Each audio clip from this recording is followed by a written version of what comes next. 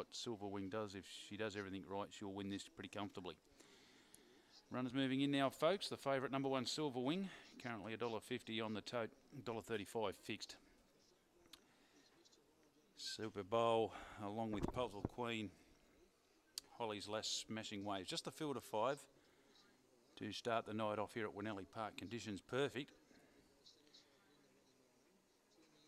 Bit of smoke around over the weekend and the back part of last week, uh, but it's cleared this evening and uh, we'll have good conditions on offer here tonight. The green light on lure rolls for the Clark Constructions. Favourite in one, Silver Wing.